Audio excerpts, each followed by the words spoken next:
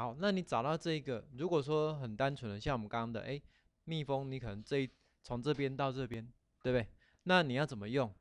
它其实是有套一个路径，啊，有套一个路径，因为这个渐变也可以套路径哦，不见得说一定要直线的。所以我们先看一下直线的怎么做哈。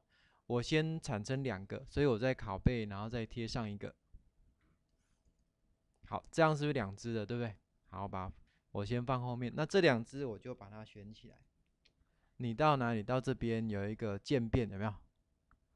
到物件里面的渐变。好，把按一下，有没有产生的？对不对？那其实你只要移动，你再把图层打开一下，你可以发现说，哎，渐变本身是变成一个资料夹，好，变成一个资料夹里面。它包含了什么？哎，自动帮你产生一个路径，有没有？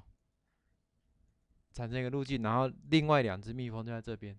那所以如果你要编辑，假设我要编辑这一只的话，我就拉拉上来，形状是又跟着改变的。好，中间它的那个过程，其实我以呃，我们再来就要上到 Flash 嘛，Flash 里面也是一样，就是说你只要决定第一个点跟最后一个点中间，它就是都帮你完成。好，那你先来试看看哦，在这边哈，先复制一个之后，两个同时选起来，有个渐变，叫做制作，这样就可以了。好，来画面还给你。你要变曲线的，那么你先看你的线要怎么走，你先画一下。啊，比如说你要这样子，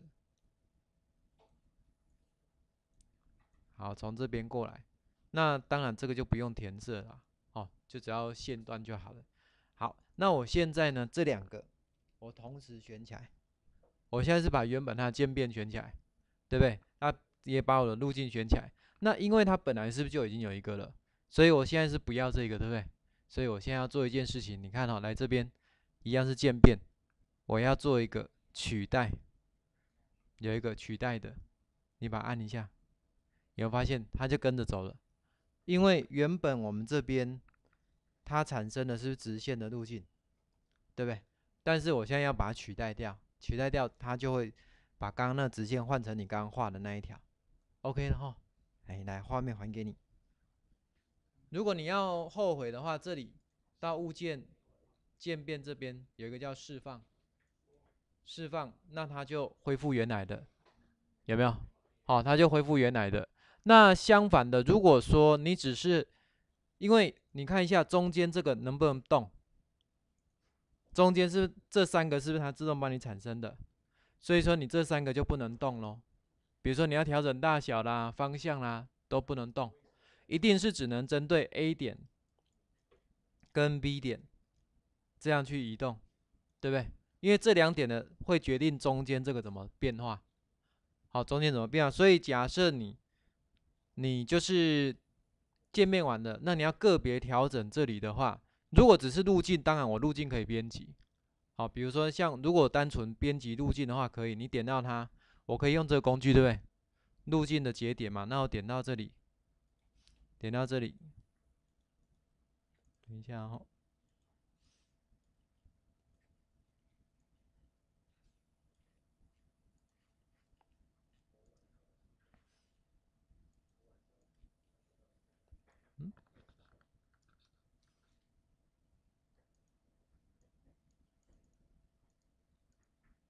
好，你可以个别移动它，有没有？路径是可以编辑，没有问题。可是中间这个的大小，你是就不能改变。中间这个大小你没办法改变嘛，因为你没有办法编辑它。那所以说，如果你是要个别的去调整、任意移动它的话，你可以到这边渐变里面，我们刚刚的是释放，对不对？就完全没有了。那你可以做一个叫展开。展开的话，就是把本来它可能好像类似像群组一样，对不对？那你展开之后，个别的就通通都是独立的，这个每一个都是一个独立的。你看一下哈，它每一个都是群主，有没有？点到它，点到它，有没有每一个都展开来？你就可以针对每一个再去做个别的调整。好，比如说，哎，我这一只比较大，比较小，那你可以这边去做调整，这是一种方法啦。好，如果你是哎用了之后，你想要个别调整的话，那如果平常你只是像这样子单纯的，我可以针对第一只，第一只，比如说我现在这样，我把它转个方向，如果一开始是向下的，这中间它就会慢慢的转到这里来，有没有？因为本来这边是向下，这边是向这边嘛，中间就会有一个慢慢渐变的过程。当然大小只这边也可以，如果你刚开始比较小只，它就会由小只慢慢变大只。但是这中间都是联动的。我们刚刚讲的展开的话是怎么样？是直接变成个别个体户就对了。好，个体户这样。好，来画面还给你喽。